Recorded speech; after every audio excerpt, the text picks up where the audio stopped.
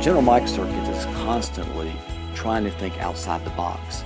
We actually have two of our existing customers online is actually has a has a person actually here at General Mike Microcircuits. What that's enabled us to do is to work very, very closely with the customers and we don't have to worry about any time zone changes. Typically, a supplier typically goes to visit the customer. Well, interesting enough, our customers have been willing to come to us to make it a much more close proximity.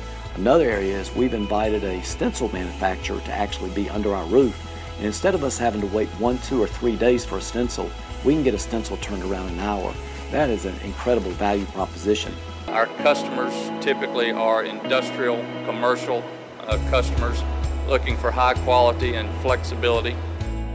Uh, we are headquartered in Mooresville, North Carolina, and we have a plant in Alajuela, Costa Rica, and a partner in Seoul, South Korea. This uh, allows us to present a risk avoidance model for our customers because we can build in multiple uh, locations throughout the world in the event of some disaster. General I think in a nutshell, is our word is our bond. Um, if we say we're going to do something, we're going to do it. And if it takes us extra effort to get it done, we'll get it done.